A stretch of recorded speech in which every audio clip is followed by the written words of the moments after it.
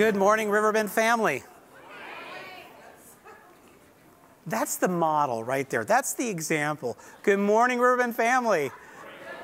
Awesome. You guys are great. Good to see you this morning. Are you ready to worship the Lord? Amen. Well, here we are. I got a couple announcements to give to you today uh, before we begin. A season of giving campaign. We're at 53% of our goal. That's amazing. So continue. Thank you. Yes. See the example right there. um, continue to seek the Lord as to how you may be involved in that and if the Lord would have you to contribute there. We have a lot of special events headed your way here pretty soon. Details will all be in the publications of the church the R mail, the bulletins. You go to the website or our app. We've got classes for the Bible College. We've got a Riverbend Academy benefit golf tournament coming up at the end of this month on October 27th. Food collections for Thanksgiving baskets. That is right around the corner. Can you believe it? And then Fall Fellowship on November 12th. So keep looking for more information there. Now, I do have a very special announcement today. And staff, if you're in here, you've probably heard this, so if it sounds a little familiar, you'll know why. You know, when we bring announcements, some bring great joy and we're really excited and pumped up. Some bring some sadness. And there are some announcements that bring kind of a mixed bag of emotions. Well, last Wednesday, uh, Troy Dittman asked the elders to meet with him after service and he informed us that he accepted a position as a technical director for a church in Oklahoma.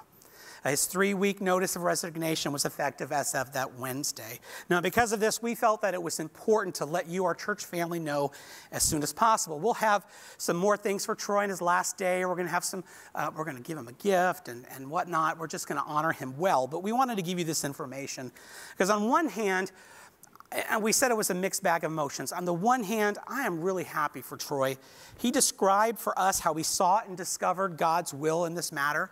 And the process and the prayer that he and Shelby went through demonstrated their love and devotion for Christ and his church. And you should talk to them about it. It's a great example of how to seek God's specific will when you're unsure. They're really godly people, and they're both convinced that this is what God wants for them, so we're overjoyed for them. But yet, we can't also but help uh, to feel a little bit of sadness. Now, I consider Troy not only a dear brother in Christ, but a dear friend. Most of you may not know Troy very much except for the booming voice that comes from the tech booth, or maybe seeing him fast walking around the, the building to make sure things get done. But the more anyone comes to get to know him, the more you'll come to admire him. He has the strongest work ethic of anybody I know. He'll give you the shirt off his back without a thought if you needed it. He serves as our tech director, running sound and video, video editing for our church, the academy, for the Bible college and seminary. He's our facilities point person for repairs and installs and setup. Nobody knows this building like Troy does. And he also helps us with IT and networking. Now, even though I'm confident that God will provide for us here at Riverbend, he operates in so many roles that his presence will be felt.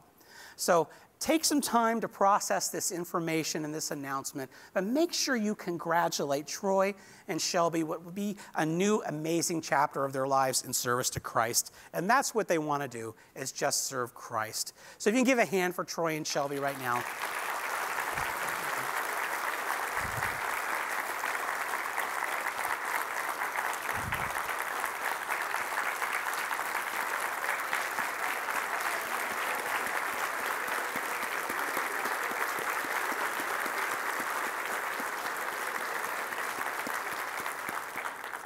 Amen. I'm going to read Psalm chapter 147 as we begin our service today, and then I'll pray and we'll begin to worship. God's word says, Praise the Lord, for it is good to sing praises to our God, for it is pleasant and praise is becoming. He heals the brokenhearted and binds up their wounds. He counts the number of the stars, He gives names to all of them. The Lord supports the afflicted. He brings down the wicked to the ground. Great is our Lord and abundant in strength. Sing to the Lord with thanksgiving. Let's do that this morning. Father, we thank you that you are all those things and more. You are the great and awesome God of all creation, knowing the stars and giving them names, and yet you know us so well that you bind up the brokenhearted that you redeem us through the gospel of Jesus Christ. What is man that you are mindful of him? That you are. And we're so thankful. And that's why we're here, because you're mindful of us, so we need to be mindful of you. I pray that your Spirit will enable us to do that today and give you an offering of worship and praise. In Jesus' name, amen. Amen. Amen. What a great and mighty God we serve. Church, why don't you stand on your feet and let's worship the Lord this morning.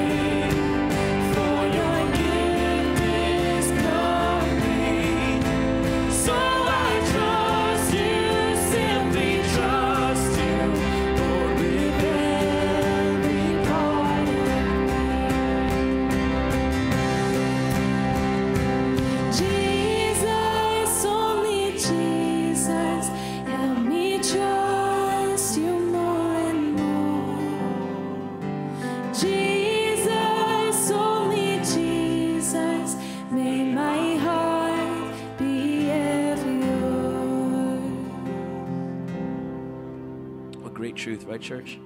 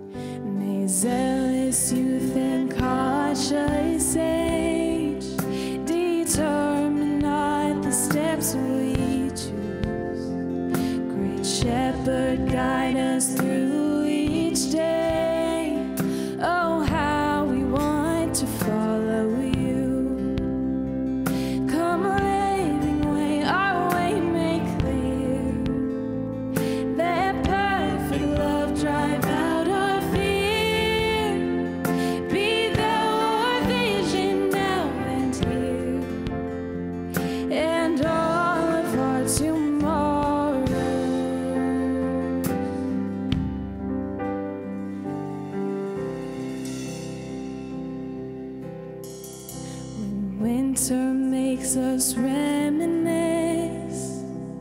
of warmer days so distant now, of cherished saints the sun.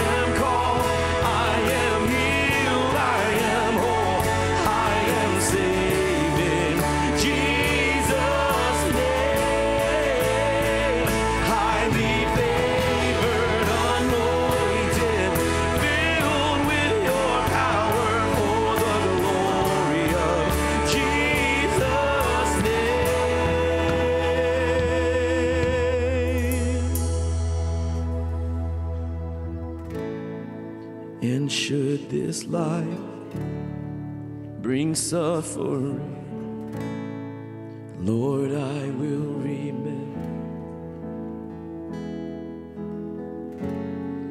what Calvary has bought for me, both now and forever. So we can in confidence, church. Oh God, you're so good. Yes, He is. God, you're so good. God, you're so good. You're so good to me. Let's sing this chorus one more time. Oh God, so good. Yes, God, you're so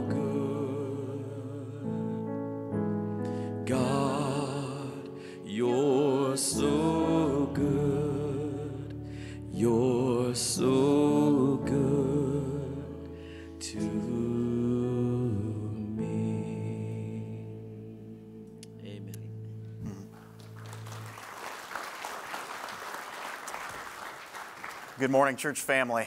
Uh, we are entering into our time of worship through giving this morning. And the, the Lord is faithful to tailor his church through its seasons. Isn't that biblical? We have great confidence in that. And every good work he places on our hearts. Amen? And just like every good work, he gives us a heart for giving.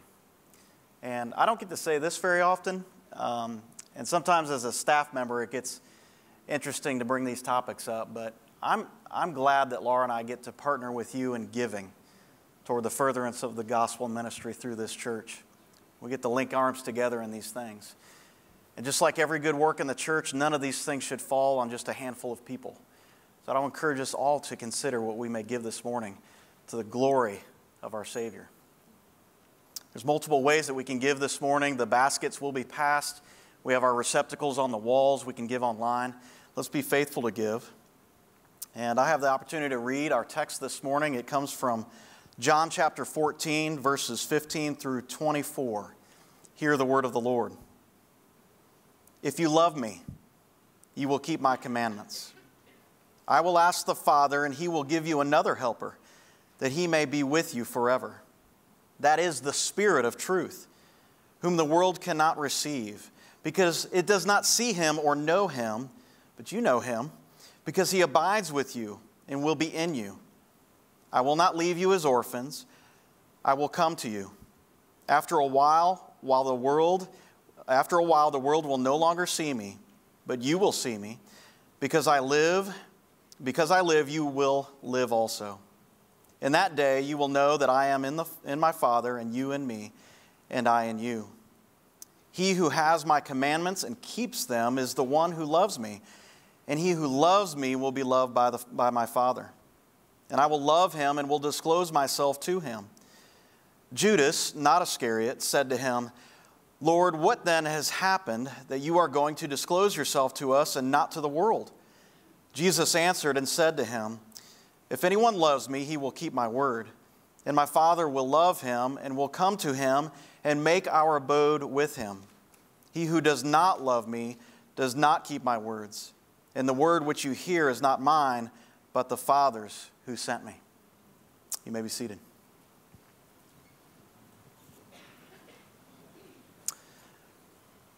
Let us pray as we prepare to give this morning. Lord Jesus, thank you for the many provisions that you give us. We're very grateful for your sacrifice on the cross. We find our identity with you in your death and in your life. Thank you for the gift of your word. Thank you for the gift of faith to trust and to believe and to follow according to your will. Thank you for the gift of the Spirit who is at work within us and through us. Lord, help us to be active in this gospel age, not clinging to the things of this world, but to even be willing to lay down our lives for another. Give us hearts and minds to hear and to receive your word today. And Lord, grow our capacity to worship you. We pray these things in Jesus' name. Amen.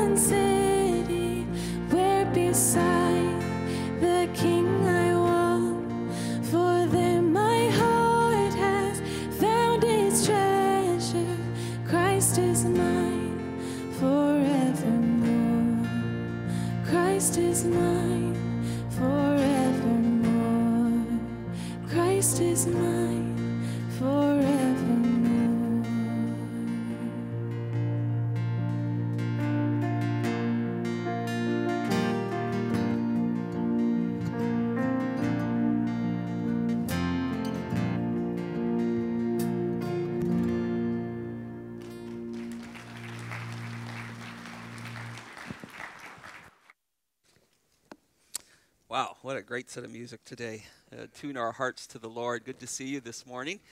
Um, boy, uh, I do do love Troy. He has become a dear friend through these years. And I think what I appreciate the most is as he was sharing with us the detail in trying to find the will of God.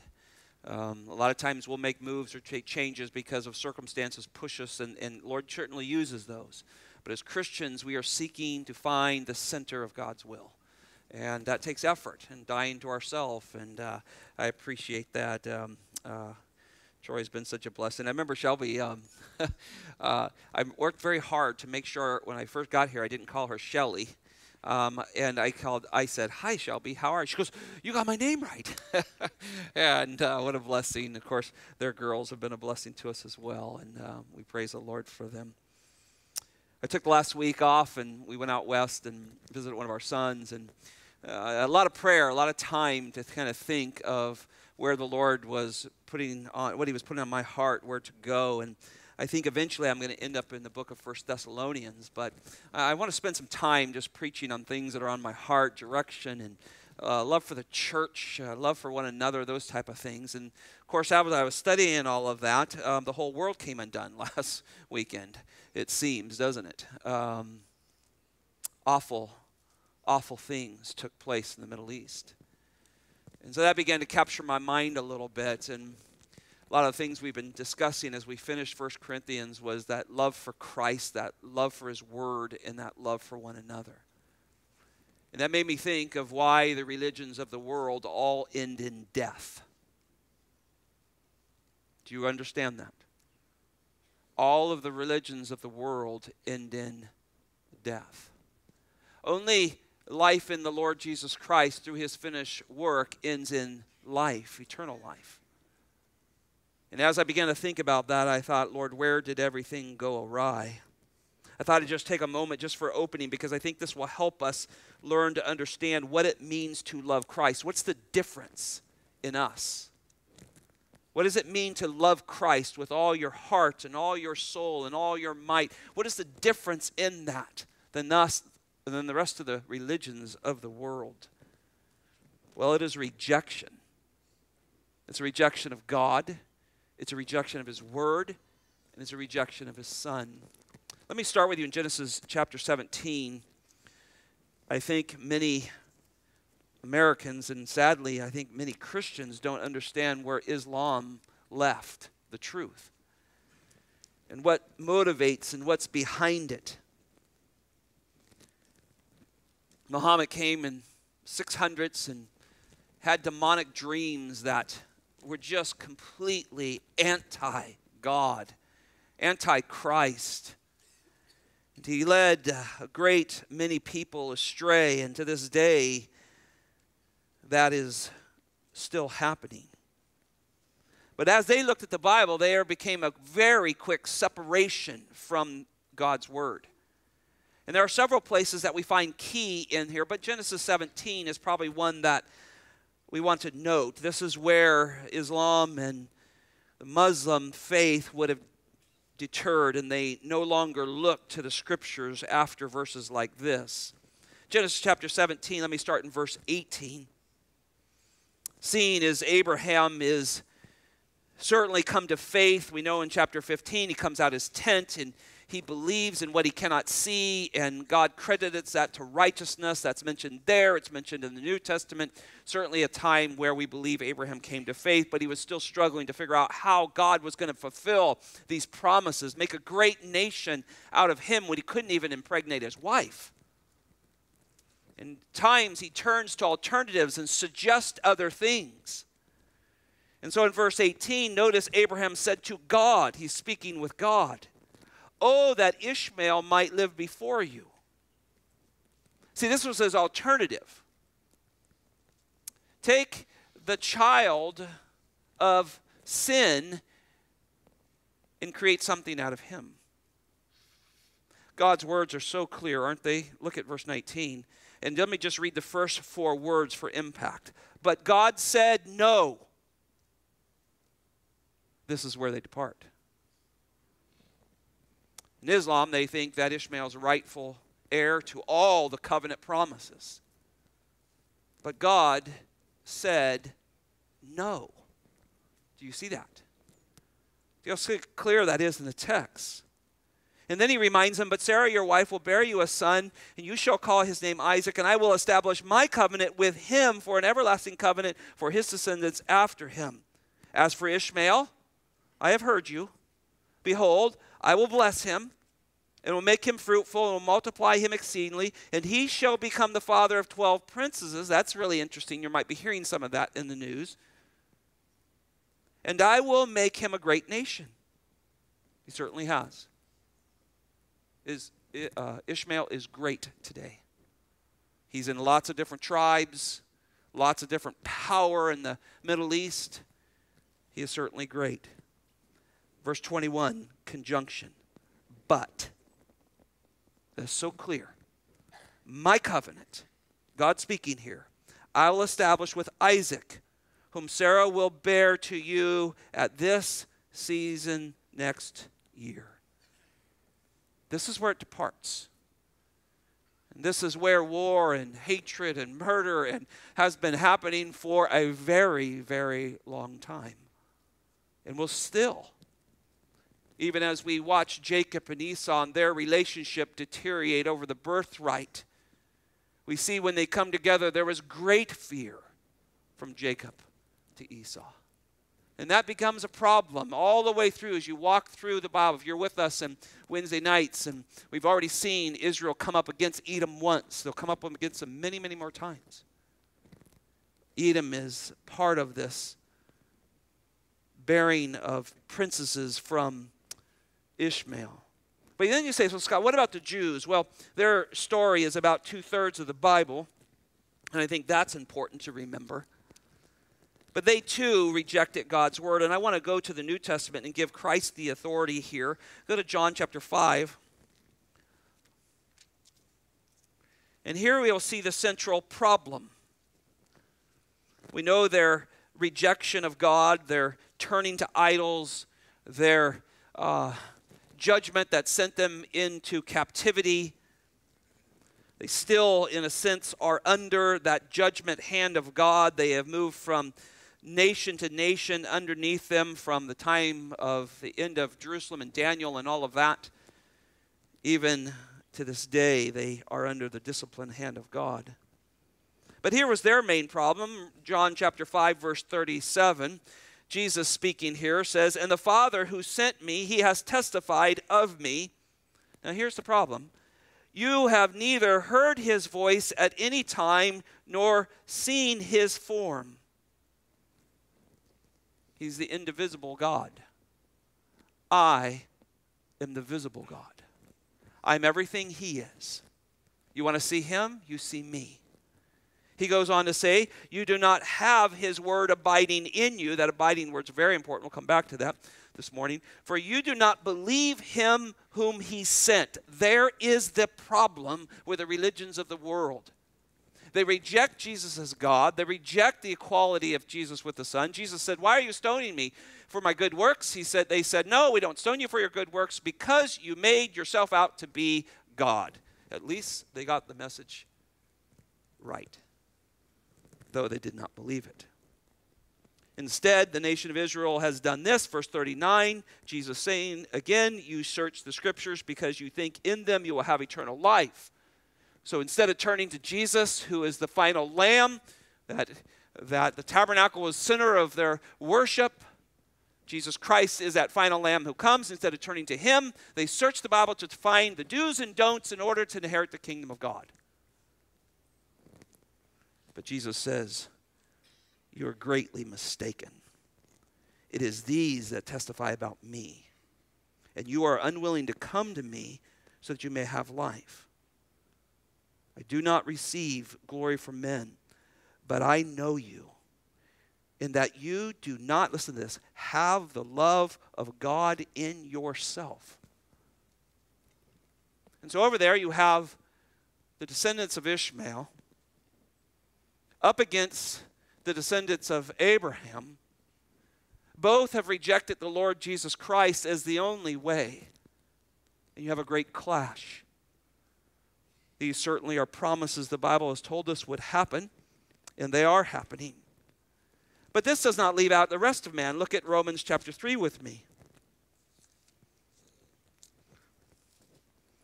After Paul has done such a great job to show that all are under sin, doesn't matter what type of sin, what area you have been in. Maybe the, I, I, often refer to this as the low class sinner, the middle class sinner, and the high class sinner. The low class, just completely rejection of God who's made himself known. Middle class, oh, that's bad, but does things behind the scene. And then the high class sinner, the religious person who's out there living one life, but his heart is far from God. Paul has shown that all are sinners. Look at verse 9 with me in chapter 3 of Romans. What then are we better than they? Not at all. For we have already charged that both Jews and Greeks are under sin. What are the wages of sin? You seeing that pretty much today? Goes on, it is written, and he begins to unfold many passages out of the Old Testament. There is none righteous, not even one. There is none who understand. There is none who seek God. All have turned aside, turned together, they have become useless. There is none who does good. There is not even one.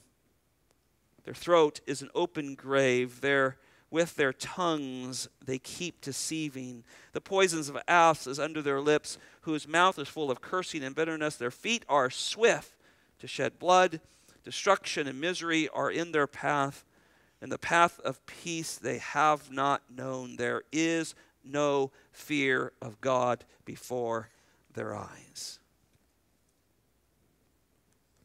See, all religions of the world try to get themselves to a God in some way based on their own righteous deeds. And they will justify those deeds to the nth degree because all of their hope is getting themselves to God. Not Christians, not the true Christian. The true Christian knows that we have no hope on our own. Our rags are but filthy, our, our works are but filthy rags. They are, they are stained and soiled and nothing you would ever want to offer the King. We come to Him through Jesus alone. There's no other way. And this war against God will soon turn itself towards those who stand only on Christ alone. But what is a true Christian? How do you, how do you recognize it?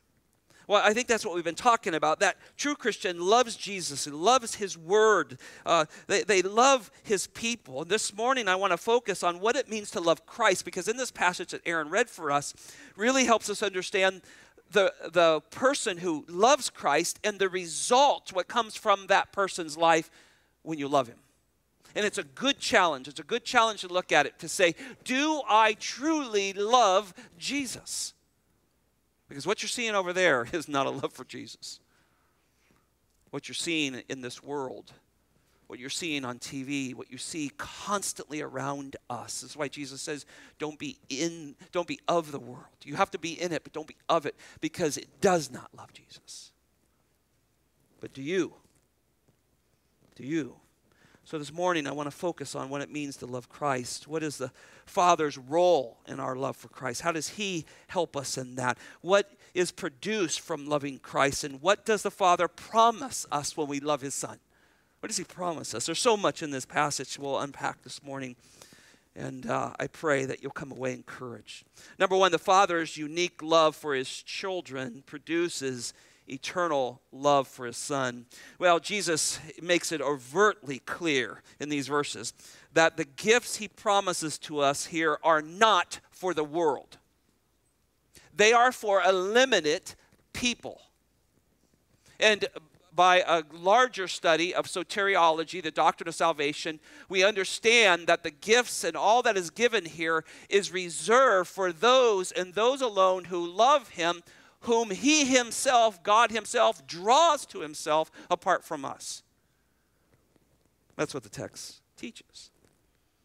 I think another way to say this is the love that Jesus promises us here is not a love that He and the Father have for the world. That's a hard one for people to hear. We are not all God's children. God does not love the world like he loves us. And I know your mind you walk to John 3:16 so many people do for God so loved the world his creation. Uh, I think there's a stark difference here. He does love his creation. He loves them uniquely and he shows it daily by giving them life, right? The sun did come up out of the east again today. Rain does come. He, he does not let atom separate. He holds all things together so that even wicked men who curse him and do the evil atrocities that we've seen still have life and breath. God does love the world. But he has a unique love for his people. The verse goes on to say that he gave up his only begotten son, that whoever, that has to be the elect. It has to be it just cannot be some scattering, oh, do your best and get to me. It has to be this directive, whoever that is. I'm so glad he uses that word, even though it gets beat up so often, because it tells us that, that we don't know who God's drawn. But those he does, they believe in him, they believe in Jesus. And because they believe in Jesus and they love Jesus, they won't perish, but they'll have eternal life. There is no greater love than that. Now, there's a love here that carries gifts with it. And God reserves those gifts for his own. Just briefly look as Aaron read to us as you get back to John, excuse me, John chapter 14 here. I'm not even there. John 14 keep your finger here. I'm just going to be working in and out of these verses this morning. Look at 16 and 17. These are 17. These are gifts God reserves for his own. Just briefly, we'll come back and look at this. I will ask the Father, and he will give you another helper, that he may be with you forever. What a beautiful gift. Verse 17, that the Spirit of truth, whom the world cannot receive. There it is. There's a distinction, right? Because it does not see him or know him, but you know him because he abides in you and will be with you. Verse 19. After a little while, the world will not will no longer see me, but you will see me because I live and you will live also. Drop down to verse 23. Jesus said to them, If anyone loves me, he will keep my word, and my Father will love him. And we will come to that one who loves me, to him, and make our abode with him. Notice the love of God shown in every one of those verses distinctly for those who love Jesus, not for the rest of the world. And you can see that from these verses. There's a gift of in, in, intimacy here.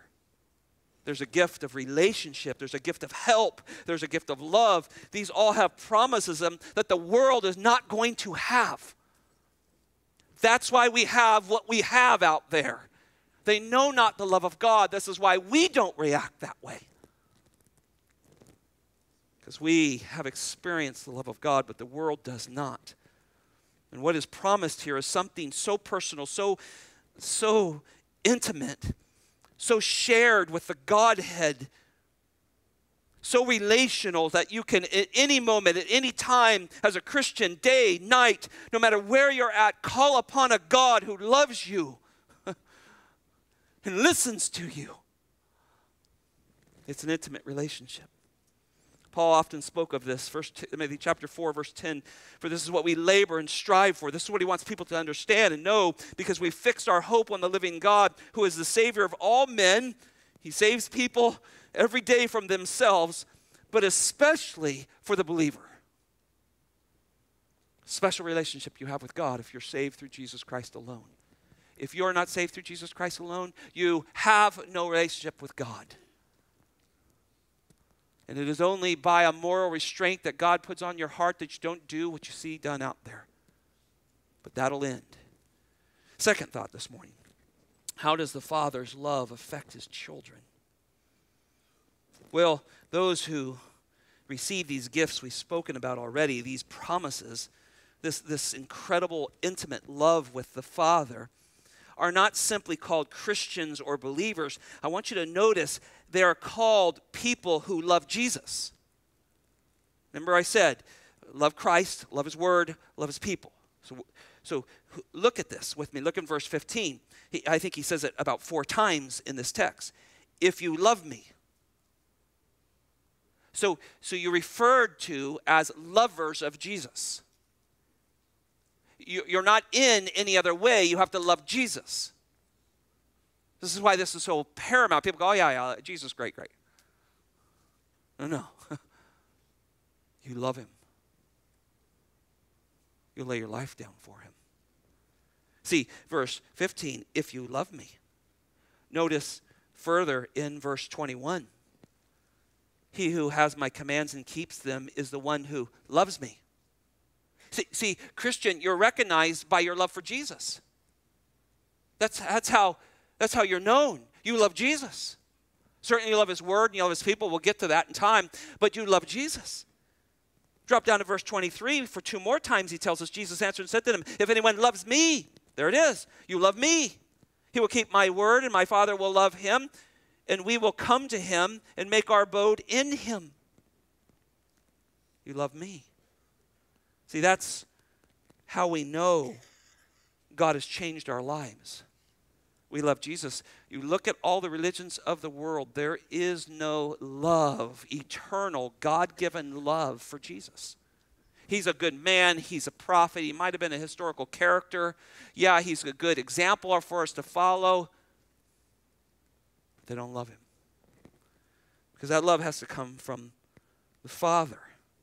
See, this is a love the true believers receive from God Himself for His Son. It's different from the love that God has for the world. It's, it's different. He has, he, he has a love for us that's unique, and He gives us this personal, intimate, relational, affectionate, committed love that the Father gives for us so we can love Jesus. And the Father's love causes the true believer to love Jesus. That's the result of it. That's, that's the result is the commands and the loving his word and loving one another. That all starts from the Father's generated love that he creates deep within us a love for his son. How does, how does the love of the Father affect his children? Look at verse 23. Jesus answered said, If anyone loves me, that's what we're called. We're called lovers of Jesus truly loves me, he will keep my word. And my Father will love him, and we will come to him and make our abode with him. Paul picks up this, Romans 5 8. God shows or displays his love for us in that while we were yet sinners, Christ died for us. So, so how's the Father going to love us? He sends his Son to die for us when we don't deserve it, when we have no ability to love him back. He loves us first. And that's what John picks up and says, Look, we don't love him first, he loved us first. So God didn't wait for us to come around to love him or love his son, he loves us first. And that love of God loving us generates a love for his son. Your love for Jesus is a work of God, not a work of yourself. You don't wake up someday and say, I'm just going to love Jesus. There's no way we can break the stranglehold of love of ourselves. The Father's got to do that. Now, here's another marvelous truth. Look at verse 21. He who has my commandments and keeps them is the one who loves me, and he who loves me will be loved by my Father. Verse 23 If anyone loves me, he will keep my word, and my Father will love him. In other words, God God's love grants and enables our love. And, notice that God responds to our love for his son and loves us uniquely and personally and intimately and affectionately and caring in a committed love because we now belong to him through his son. It's the only it is the only one who it's only only the one who loves Christ who has been loved by the Father. Look at chapter 16. He, he reiterates this several times. Now remember, this is all happening just right before his death. This, this is in the long passage of John that's recording from chapter 12. After he speaks his last public message, he goes into seclusion. The last week of his life, there's so much given here. He's given now days and moments before his own death. Remember, this has all taken place. Go to chapter 16, verse 27. Jesus says to his disciples, because we are disciples of the disciples in a sense, the Father himself loves you. I think you can take this personally because you have loved me. You see that? The Father loves you because you've loved me. So there's this incredible play on words throughout Jesus Christ because the Father will give you love to help you love me. And when you love me, you'll love the Father. And I'll help you love the Father. And the Father will help you love me. And there's this beautiful relationship we're caught in between the Father and Son in His love. It's overwhelming, isn't it? For the Father Himself loves you because you have loved me and have believed that I came forth from the Father. Notice verse 7, chapter 17, verse 23. I in them and you in me that they may be perfect in unity, so that the world may know that you sent me. I love them. do you feel loved today by the Trinity? I hope you do, Christian. The Father, we haven't gotten into spirit yet. We're going to get to him in a minute. The, the Father loves you, the Son loves you. The, the father, loving the Son generates a love for the Father, loving the Father generates a love for the Son. Now, there's a sad reality when we think of our family members that don't know Jesus, things we're seeing in the Middle East. The reality is the lost. There are people who do not love Jesus, and so they do not love the Father. Jesus made that clear. If you don't love me, you don't love the Father. And so in John 5 23, here's what he says He who does not honor the Son does not honor the Father who sent me. He constantly, John, John, everybody loves to read the book of John, and I love it too. I tell people to read book of John all the time. But it is a masterpiece on the equality of the Father and the Son. You dishonor the Father, you dishonor me. You don't love me, you don't love the Father. In fact, he goes on to say it very clearly in John 15 23, the verses, uh, the next chapter past, he says, He who hates me hates my Father also. That's an amazing thing. There's such a uniqueness of the love the Father and the Son have together. It's so different than our love. Like, I had four brothers. We fought like cats and dogs. You know, we were athletes. We were always competition. Always, you would go, man, those guys don't like each other. Oh, come between us. and you get all of them. but it's not, a, it's not a perfect love, is it, right? We can't love each other, but you get in my way or if I hurt my little brother, we're going to come and pound you. Oh, no, no. God's love is so different than that. Oh, God's love is so beautiful. But for those who just say, well, I love Jesus, but I reject his word, I reject God's plan, they find themselves in hatred against the Almighty God no matter what they say. See, no one rejects the Lord Jesus Christ can truly know, love, and honor God because the Father loves the Son and the love of the Father is what creates and generates a love for His Son in our lives. So, this is the effect of the Father's love. The promises in these verses are not for the world. They can't see them, they can't know them, they can't grasp them, they can't experience them. They are for those who love Jesus alone. That's what makes us so different, brothers and sisters. That's what often makes us a target, though because we love Jesus and we don't love this world. We love our Savior. Third thought what does it mean to love Jesus? What does it mean to love Jesus?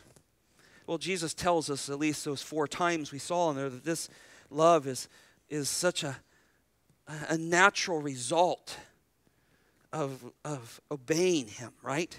Verse 15, look with me. If you love me, what's the result? You'll keep my commandments. Notice verse 21 He who has my commandments and keeps them is the one who loves me. He just reverses it, right? Same thing. There's a result here. So, what does it mean to love Jesus? Well, you love him, you, you obey him. You keep his commandments, you keep his word. Verse 23 If anyone loves me, he keeps my word. Verse 24 He who does not love me does not keep my words. There's the negative aspect of it. So, the key, the first thing to notice here is that loving Jesus is not the same as keeping the commandments. That's a big mistake. People say, well, I did this and I didn't do that and I did that and I did that. That's not the same as loving Jesus. That's legalism. That could find yourself in hell because of those things. Lord, I've done all these things from my youth. Well, sell everything and follow me. Whoa, wait a minute. Now you're talking about a deeper love than I'm ready to commit to. See, see the difference? You see, where so many religions of the world have tried, even fringe Christianity, and even ooh, pressing into Christianity right now, is hey, I do all these things, you give me back my love. I think there's a unique love that proceeds from the Father, and it produces, listen to this, a desire to keep His word. Why do you obey Jesus? Because you were raised in church? Ooh, that's a hot, hot return. Why do you love Jesus? Is it because the Father's loved you? He opened your blind eyes and your hard heart. He took out that heart of flesh and heart of stone and gave you a heart of flesh so you could love him. Is that why you love him? Or you love him because you have this list that makes you feel better so I think that's where so many people go awry. Keeping his word is a result of loving him, not the same. It's not the same as just loving him. Oh, I just love him, right? People say today, oh, I love Jesus. Well, what do you think about gender, marriage, and all that God says about the family? Well, yeah, I, I don't agree with that. Well, wait a minute. So you don't want to obey him? I mean, think about this where this goes unequally yoked with people, in deep relationships with somebody that you know is not in Christ. The way we handle our money, our marriages, all those type of things. I mean, think about that. Do you love me? And is the result of this God given love that now you're saying you love Jesus, is there a desire to follow his will? You, me, and every Christian has to answer that question every once in a while. Because otherwise, we just kind of skate along, go, hey, I was at church twice this week. Verse 15 If you love me, the results will be you'll keep my commandments. Verse 23 If you love me, the results will be you'll keep my word. So, what is this love for Jesus that produces such a desire? Let's think about that. Think about Jesus, right? He has, he has no blemish. He has no sin. He's, he's holy. He's, he has no deficiencies, deficiencies, right? He, he, he's free of sin, he's holy. So, so how are you going to love him? Are you going to say, Well, God, I, I just love your son. Isn't it gracious of me to love Jesus? No, it's not gracious of you to love Jesus. He doesn't need your grace, he's sinless. We need the loving grace of the Father and the Son and the Spirit. See, it's a whole different relationship with Him. We, we don't dare love him the same way he loves us. Right? It's a different love. That's why, listen, that's why it has to come from the Father. Think about that. I love Gina, but we're both sinners. And that can make things challenging. Amen? People are married at times, right?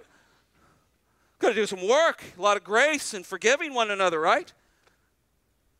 That isn't what we do with Jesus there's absolutely nothing to forgive with Jesus. We don't come to him that way. Oh, we love Jesus entirely deserved love. His love is entirely undeserved. Do you see the difference?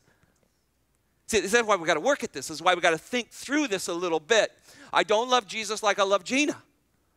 I love Gina greatly, and my human love strengthened by my walk with Jesus and so forth. And there's grace and mercy and forgiveness because I too have been forgiven. And, and, and if you're struggling in your marriage, you better think about that real quickly.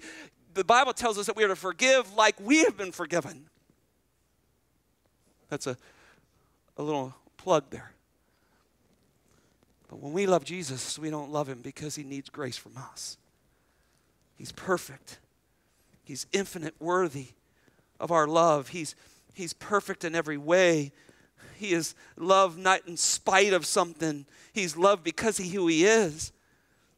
And think about when we have a full understanding of Christ in direct proportion to my understanding of who I am without Him, there now becomes a spirit driven, a truth driven love for the Lord Jesus. And this love for Christ encourages my soul now, and it greatly affects my obedience because I received the love I did not deserve. And now I can return to Him just a pouring out of affection and worship towards the Lord. And look, if you understand who Jesus is, and what the Father has given you in His Son and in His love, that truth will set you free. And you can love in the most difficult circumstances.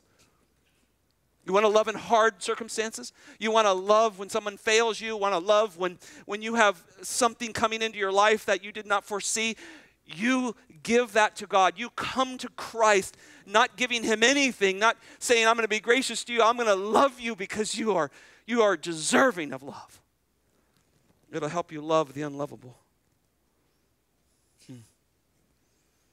I think this means that the love of Christ is we respond to his glory, we respond to his beauty.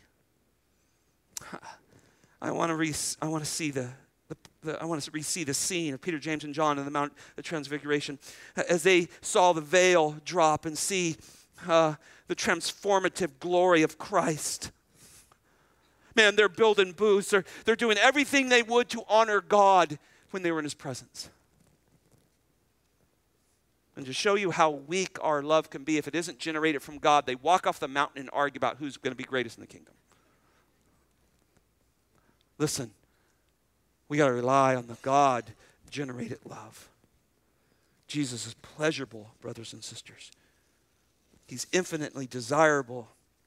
You honor him because he's infinitely worthy. You treasure him because he's infinitely valuable. You enjoy him to the utmost. That's what he wants from us. And that all comes down to listen, this question are you satisfied in him or are you looking for another? Are you satisfied in Jesus? I think this is the reaction of a Christian whose heart of stone has been removed souls have been awakened from the dead. You didn't just breeze into Christianity. You just didn't decide, well, I think I'll be a Christian today. It was a predetermined plan of God, and it's radical. Uh, you got to get that through our heads. It's radical. I now love where I could not love before. I have a storehouse of treasures with my Lord and Savior. And when and if He wants to give them, He'll do them in His perfect will. I love Him. See, this separates us, separates us from the world. Loving, listen, loving Jesus is not doing things in the matter of excellence. I, I, think we have to be careful there. I think we do excel still more. Paul challenges the church to keep running. Um, this, is a, this is a laborsome life. You strive. Agonizo is used over and over about our life. We strive, we run. It's a battle. It's, it's finishing races. It's all of those things. But listen, brothers and sisters, it's not getting him through getting to him through our excellence. It's through his excellence that causes us to worship. Now, just a reminder in John chapter 3, verse 19, Jesus says, Men love darkness rather than light. Did you see that this week? Did you see that even closer to home? Jesus says, Men love darkness rather than light. And is Jesus not called the light of the world? This is the problem, the state of the world. The Father shows us how the love of the Son works. John chapter 3, verse 35. The Father loves the Son, and listen to this, and has given all things into his hands. And you remember with his baptisms and his transfigurations, I've already mentioned this, but the Father speaks, right? The clouds part, the voice of God comes, and he says, This is my beloved Son, in whom I'm well pleased. He says that several times. Baptism, trans, uh, uh, transfiguration, I'm well pleased. So as I thought about that, I go, that's the kind of love that the Father gives us, is we're pleased with Jesus. What he gives, what he doesn't give sometimes. We're pleased with him. See, the Father's showing us the love He has for the Son and the love He gives us to love Him. We're pleased with Him. No matter what He does, what He doesn't do, we're pleased with Him. Are you pleased with Jesus right now? Or are you frustrated with Him because He didn't answer your prayer the way you wanted? Or He's allowed something in your life that's challenging? Are you pleased with Him? See, when we just throw comments, and I know I, I talked about so much love Jesus, love His Word, love His people. Those are big statements, aren't they?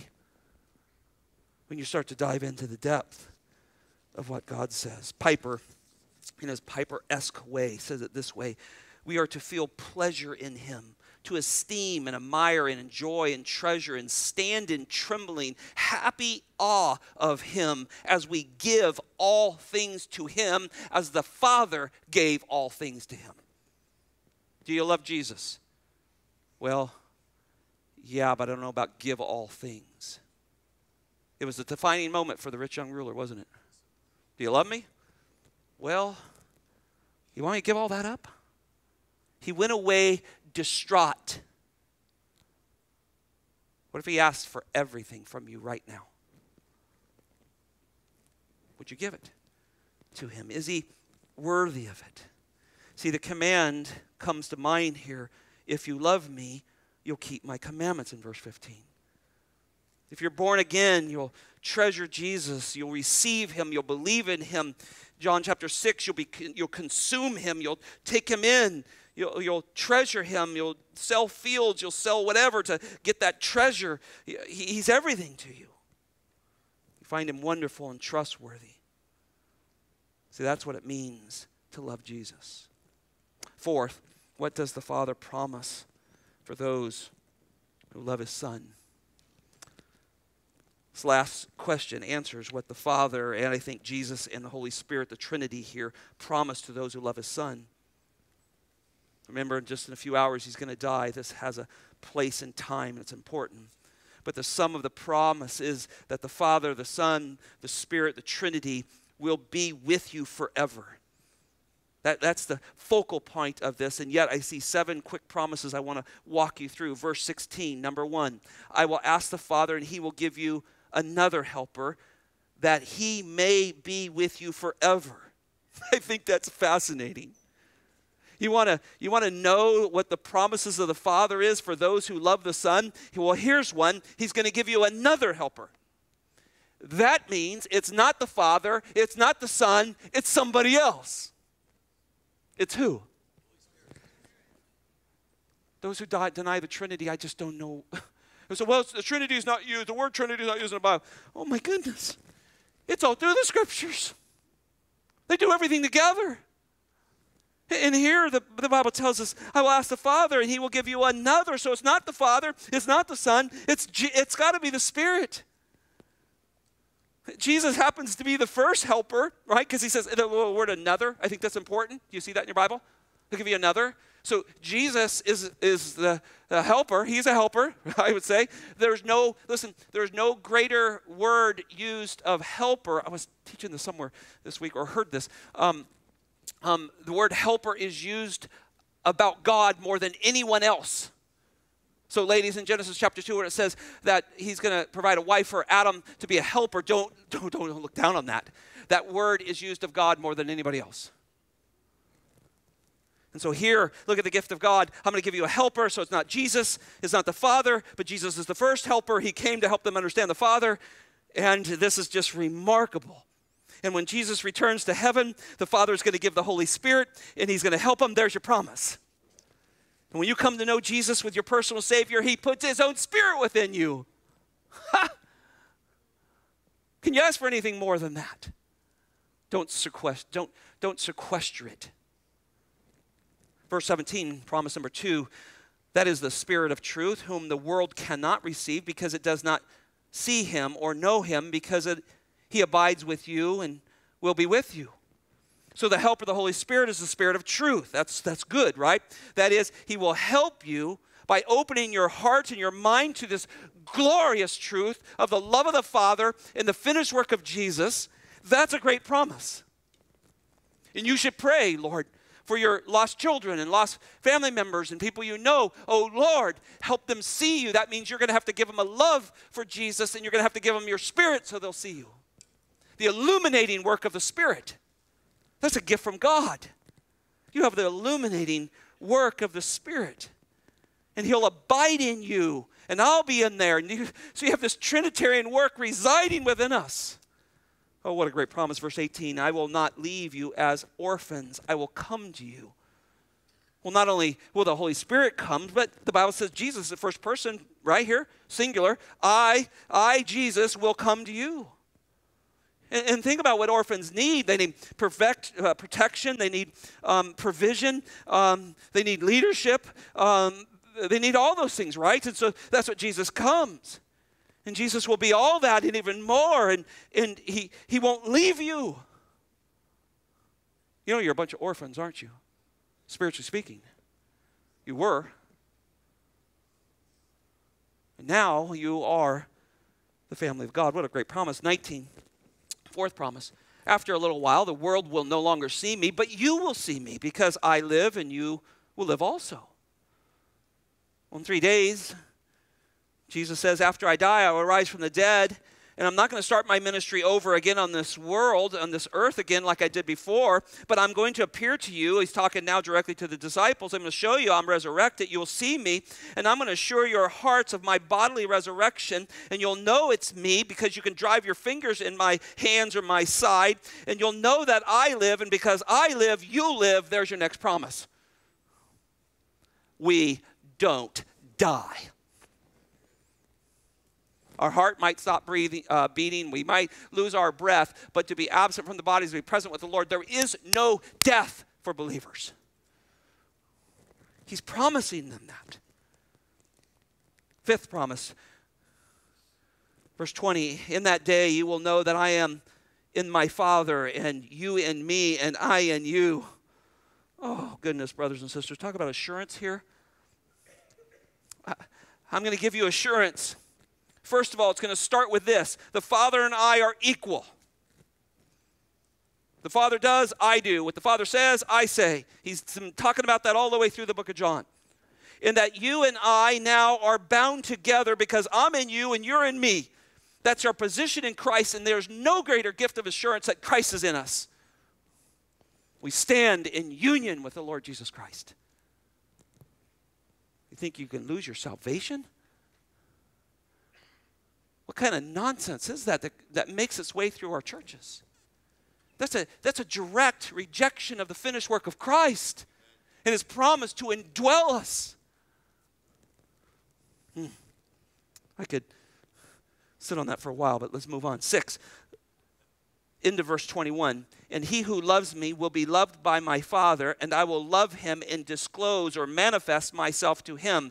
And so he is saying here, My Father and me we we are going to have a very special very close family like love for you and we're going to show ourselves we're going to reveal ourselves to you and, and we're going to show you things about us that the world's never going to see. Oh you people right here you have seen such amazing things because you believe jesus you love him and you believe your bible and you love one another that those folks over there have never never seen. You are privileged but are you hiding that light under a bushel? I mean, we, we are so privileged. He's shown us these things. This is His promise. Uh, oh, do you remember when you came to know Christ and you're reading the Bible? and you look and you go, Whoa, that's me in the scriptures He's dying for. He's thinking of me. He's given me the big ability to forgive like He forgave. I am pardoned. I no longer get what I deserve, and you just become overwhelmed. See, that's what I say. Have you, have you lost your amazement at grace? Oh, if you have, brother, sister, beg for God to give it back. Go get right with Him. And you'll watch Him do amazing things. Seventh, verse 23. And He's responding to the question asked by Judas, not Iscariot. And he makes that very clear in verse 22. Lord, what has happened?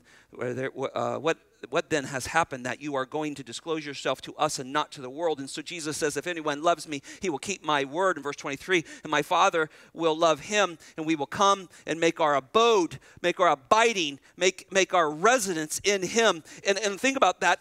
Is that not, and I, you're going to struggle with this a little bit, but hang on here. Is that not kind of heaven on earth? Father and the Son, he says plural, we, will we not make our abode in that person? Wow. Heaven, in a sense, has come to my internal being. The word abode is such an amazing word. Amane is the word. Uh, it, it's only used one other time in the book of John. It's found in verse 2. He says, In my Father's house are many dwelling places. the same word, right? Same Greek word. So he's dwelling. He, the Father and the Son are dwelling within us. Through the, through the illumination and the work of the Holy Spirit, he, he abides within us. If I were not so, I wouldn't have told you, he says. So he's gone to prepare a place in heaven for us, but he's prepared a place right here. We talked about this, oh, I don't know, quite a while back, and I was in John chapter 14 on a Wednesday night, and, and we talked about what the, the building that he's been doing within our, internally in us. But see, the result of this promise that he promises to abide in us is that what happens is we'll keep his word.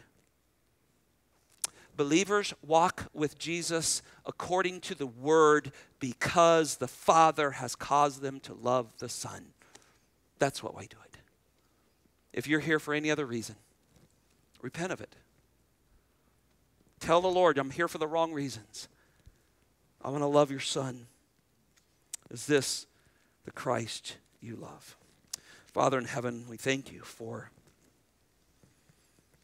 the fact that you certainly undeserved on our part, gave us a love for your Son. Hmm.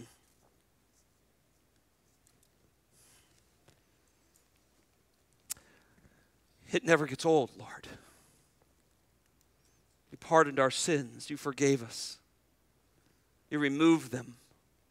You choose never to bring them up. We're the blessed people on earth. And then you take residency in our lives, Lord, so that we'll never be lost. We'll never feel alone. You are always with us, no matter what our circumstances are, no matter what's happened to us. You reside within us, and that is truly a tremendous treasure. And I ask, Lord, that through the knowledge of the word that we've received today, that we would love your Son. Not because he needs anything from us not in an act of grace us towards them, but to know that He is purely lovable. And Lord, I pray this will change us. I pray this in Jesus' name. Amen. Church, it's always great to uh, respond to what we've heard in God's Word. So I want to invite you to stand as we sing of just the love of God, of how He loves and cares for us.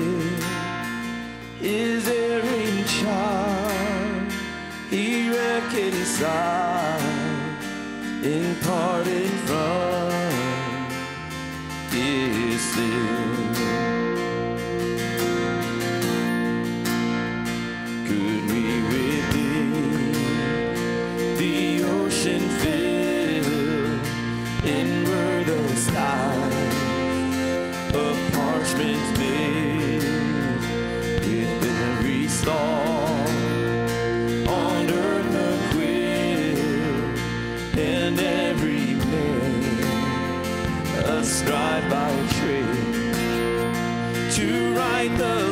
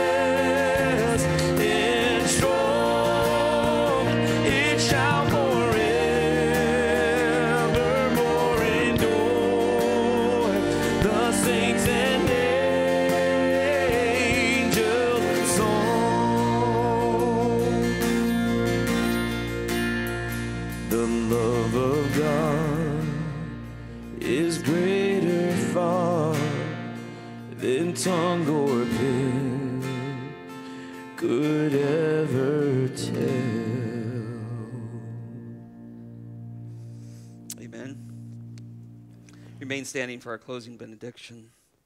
Our gracious Heavenly Father, we thank you for sending your Son and causing us to need him and love him. Thank you that you have made yourself at home in us. This love for your Son and your abiding in us drives our obedience and our desires to live according to your word. We thank you for the overflowing nature of your love poured out into our hearts by the Holy Spirit. We are now no longer orphans, but we are protected and loved and provided for as you lead us by your Spirit. Now, Lord, may we go and live for the one who loves us and abides in us. In Jesus' name, amen.